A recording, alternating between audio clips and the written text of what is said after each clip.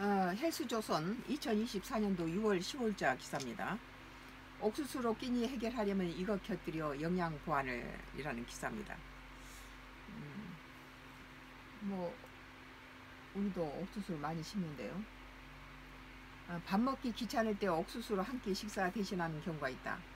옥수수는 지방 함량이 낮아 다이어트에 도움이 되고 비타민과 미네랄 등 영양 성분도 풍부하다. 아쉬운 게 있다면 필수 아미노산이라는 나이신과 트랩토판이 적다는 것. 잘못 익히면 퍽퍽할 수도 있는데 간단히 해결하는 방법이 있다.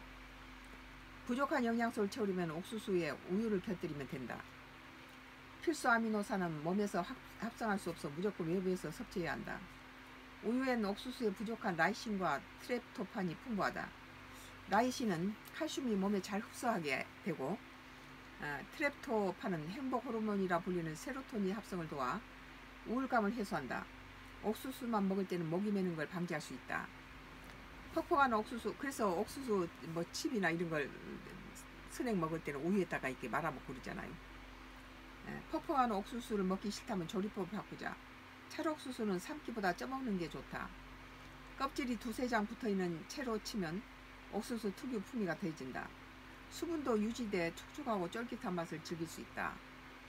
아, 찔 때는 넉넉한 찜통에 채반 아래까지 물을 붓고 찰옥수수를 엇갈리게 넣는다. 뚜껑을 덮고 센 불에 2, 30분 어, 찐 어, 불을 끈 다음에 10분 정도 뜸을 들이면 된다. 찐 옥수수는 버터를 발라 프라이팬에 구워 먹어도 맛있다. 다만 시간이 지날수록 당도가 떨어지고 알맹이도 딱딱해지니 빨리 먹는 게 좋다. 어, 한편 평소에 소화불량이 심한 사람은 옥수수를 많이 먹지 않은 게 좋다. 옥수수가 섬유 재질이 많지만 소화는 잘 안 되죠. 그래서 다이어트도 좋죠. 옥수수는 소화되는 속도가 느려 소화 과정을 방해할 수 있다.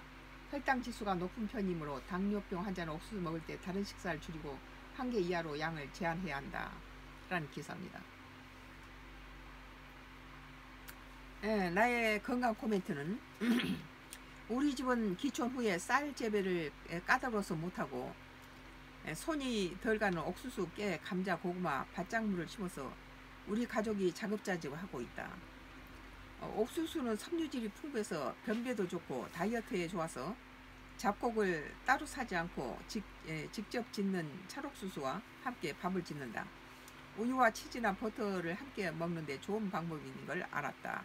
평소에도 치즈랑 같이 버터에다 볶아서 어, 팬에서 볶아서 먹으면 굉장히 고소하고 맛있죠.